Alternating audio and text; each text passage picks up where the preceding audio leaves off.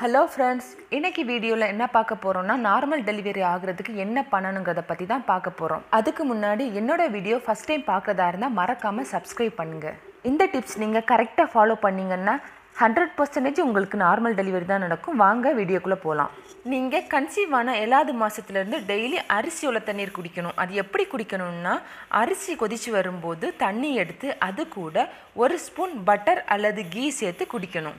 இது daily afternoon முன்னாடி குடிங்க. இப்படி குடிக்கிறனால குழந்த டெலிவரி டைமில் ஈஸியாக பிறக்கும். எட்டாவது மாதத்தில் என்ன பண்ணணும்னா டெய்லி நைட்டு சோம்பு தண்ணி குடிக்க ஸ்டார்ட் பண்ணணும். நீங்கள் ஒரு டீஸ்பூன் சோம்பு எடுத்து லைட்டாக ஃப்ரை பண்ணி தண்ணி ஊற்றி நல்லா கொதிக்க வச்சு அதில் ஒரு ஸ்பூன் அளவு விளக்கெண்ணெய் ஊற்றி லைட்டான சூடில் குடிச்சிட்டு வாங்க.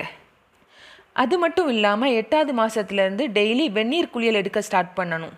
நைட்டு சாப்பிட்டு அரை மணி நேரத்துக்கு அப்புறம் தூங்குறதுக்கு முன்னாடி உடம்புல ஃபுல்லாக விளக்கெண்ணெய் அப்ளை பண்ணிட்டு பதினஞ்சு நிமிஷத்துக்கு அப்புறம் உங்களுக்கு பொறுக்கக்கூடிய அளவுக்கு சூட்டில் இடுப்பில் பேக் சைடில் நல்லா விடுங்க. வயத்தில் விடக்கூடாது.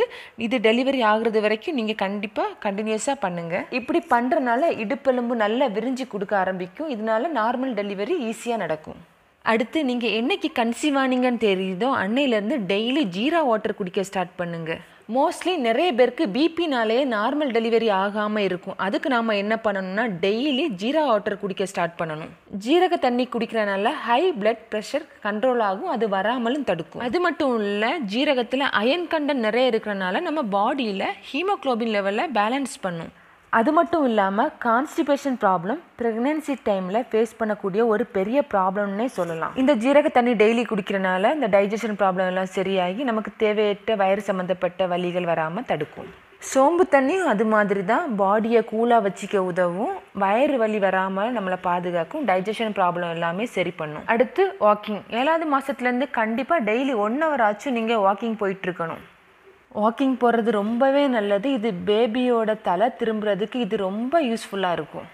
நீங்கள் ஆக்டிவாக பாடிக்கு எக்ஸசைஸ் கொடுத்தா மட்டும்தான் நார்மல் டெலிவரி ஈஸியாக நடக்கும். எட்டாவது மாதம் ஸ்டார்டிங்லேருந்து நீங்கள் டெய்லி பட்டர்ஃப்ளை எக்ஸசைஸ் பண்ணுறதுக்கு ஸ்டார்ட் பண்ணிவிடுங்க இது எப்படி பண்ணணுங்கிறத கூகுளில் சர்ச் பண்ணி பாருங்கள் எட்டாவது மாதத்துலேருந்து வீட்டு வேலை செய்ய ஆரம்பிச்சிடுங்க. வீடு தொடங்க. உட்காந்து துணி வச்சு நல்லா உட்காந்து தொடங்க. அப்போ தான் நம்மளோட இடுப்பெலும்பு நல்லா விரிஞ்சு கொடுக்கும். இப்படி பண்ணுறனால குழந்தை ஈஸியாக வெளியில் வரும். அடுத்து முடிஞ்ச அளவுக்கு இந்தியன் டாய்லெட் யூஸ் பண்ணுங்கள் வெஸ்டர்ன் டாய்லெட் அவாய்ட் பண்ணுங்கள் இந்தியன் டாய்லெட் யூஸ் பண்ணுறது நல்ல எக்ஸசைஸ் நம்ம இடுப்புக்கு. அடுத்து சேரில் இருக்கிறத அவாய்ட் பண்ணிவிட்டு நீங்கள் தரையில் உட்காந்து சாப்பிட்லாம். தரையில் உட்காந்து டிவி பார்க்கலாம். இதுவும் ஒரு நல்ல ஒரு எக்ஸசைஸ் அடுத்து ரொம்ப ரொம்ப முக்கியமான விஷயம் என்னென்னா நீங்கள் ப்ரெக்னென்சி டைமில் ரொம்பவே ஹாப்பியாக ஜாலியாக இருக்கணும். எதுக்குமே ஃபீல் பண்ணக்கூடாது. நல்லா என்ஜாய் பண்ணணும்.